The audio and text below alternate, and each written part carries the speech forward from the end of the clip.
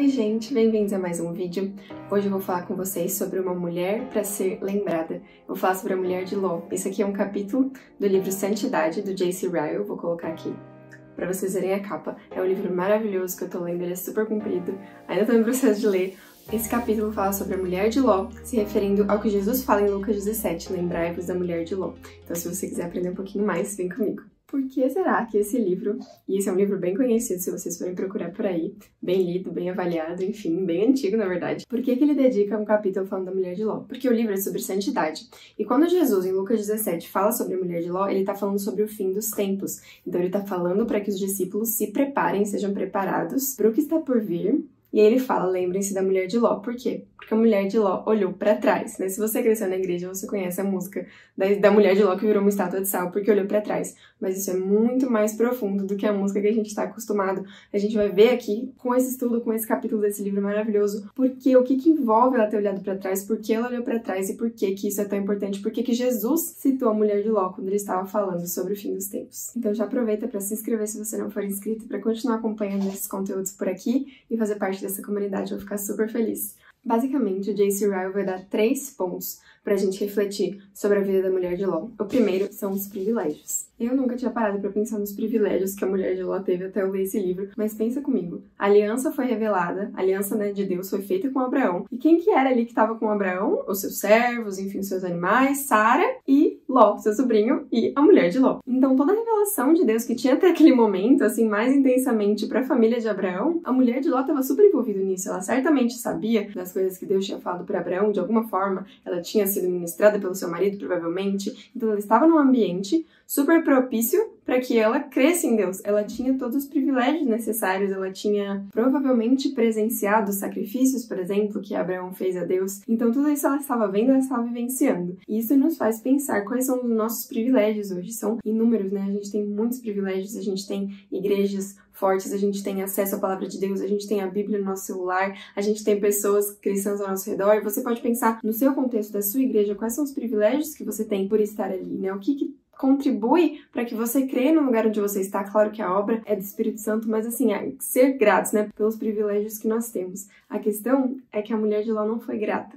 E esse é o segundo ponto, foi o pecado dela. E o pecado dela está super relacionado com os privilégios, porque mesmo ela tendo todas essas coisas, todos esses benefícios, essas coisas que talvez diriam, ah, então não tem como ela não crer em Deus, ela não creu. Ela escolheu o seu pecado, ela se acomodou no seu pecado. E como que a gente sabe disso? Além, é claro, da gente não ver nenhum feito da mulher de Ló, não ser o seu pecado, né? A gente não viu, assim, que ela era uma mulher piedosa e que ajudava Ló, enfim, mas esse não é o ponto. A questão é que quando ela saiu de Sodoma e Gomorra, ela olhou para trás da forma que explicitamente tinha sido falado para ela não fazer. Os anjos falaram: venham e não olhem para trás. Os anjos tomaram pela mão, né? Que privilégio que não foi esse que os anjos foram até lá e tomaram eles pela mão para que eles fossem livrados da destruição de Sodoma e Gomorra, mas ainda assim ela olhou para trás, ainda assim ela não desejava ser resgatada, porque ela estava acostumada com aquele pecado. Ela gostava daquele pecado, porque se não fosse assim, ela iria embora sem problema, né? Mas não, ela hesitou ali e olhou para trás, quer dizer, sentindo falta daquilo que eu estava deixando e não olhando para os benefícios e privilégios que Deus tinha dado a ela e principalmente essa libertação, os anjos indo tomando pela mão. Isso nos ensina que privilégios não garantem coisa alguma, não garantem salvação, não garantem nada. Então, aqueles privilégios que eu falei para você pensar, igreja,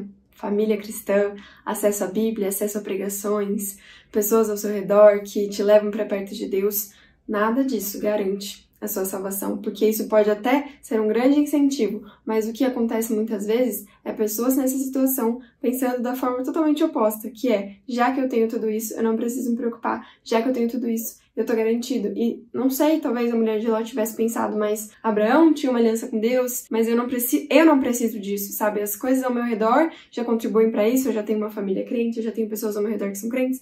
Eu não preciso me importar com o estado da minha alma. E foi isso que aconteceu com a mulher de Ló. Ela não se preocupou e ela se perdeu. E esse é o terceiro ponto, é a morte, é o fim que ela teve. E foi o fim talvez mais trágico que a gente possa imaginar. Às vezes quando a gente vê alguém que, que morre, a gente fala, quem sabe essa pessoa se converteu no leito de morte? Quem sabe sabe se a pessoa entregou a sua alma a Jesus, mesmo que seja nos últimos minutos, né? Igual o ladrão na cruz que pediu a Jesus que olhasse para ele, né? E que se lembrasse dele, e Jesus disse que ele seria salvo. Então, a gente pode pensar isso às vezes sobre algumas pessoas, mas sobre a mulher de Ló não tem como pensar isso, porque ela morreu exatamente enquanto ela fazia aquilo que foi ordenado que ela não fizesse. Os anjos falaram: não olhem para trás. E ela olhou para trás, ela sabia que ela não devia olhar, ela sabia que os anjos ali representavam a palavra de Deus para ela, que ela não devia olhar para trás, mas que ela devia seguir e obedecer. E ela olhou. Então ela realmente estava totalmente rebelde contra Deus. Ali a mulher de Ló não, não tem esperança para ela, não tem como dizer, ah, mas ela se arrependeu no final das contas, porque foi exatamente ali fazendo aquilo que ela não devia fazer, que ela morreu. Isso foi uma forma de Deus mostrar o seu juízo ali naquele momento. Então o que que isso traz para nós? Jesus falou para a gente se lembrar da mulher de Ló quando ele falava dos últimos dias.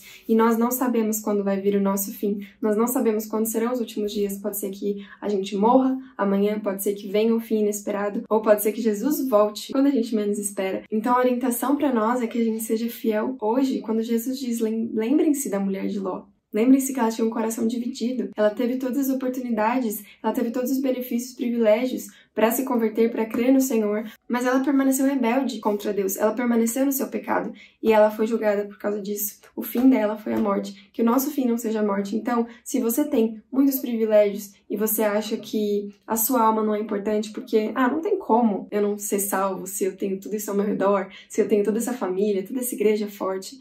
Se preocupe com o estado da sua alma, se preocupe com o seu coração, se preocupe em ter certeza de que o seu coração não é dividido, mas que o seu coração é fiel, totalmente fiel a Deus. O aviso de Jesus para os discípulos vale mais do que nunca, vale em todo o tempo. Ele vale para nós, que a gente se lembre da mulher de Ló, que nós não sejamos como ela, que nós não sejamos lembrados como a mulher de Ló, que fomos infiéis ou que fomos com o coração dividido e nosso final foi trágico, mas que a gente lembre dela e mude de coração e mude de vida, que a gente realmente se comprometa com o Senhor, 100%, seja fiel 100%, a gente tenha certeza de que nós estaremos com Ele eternamente e que quando o dia chegar nós estaremos preparados e fiéis. Bom, gente, é isso. Eu espero que esse vídeo abençoe a sua vida. Se você gostou, não deixe de comentar, não deixe de curtir esse vídeo, porque isso ajuda muito o canal a crescer e alcançar mais pessoas. Não deixe de me acompanhar no Instagram e a gente se vê na próxima semana. Fiquem com Deus e até mais!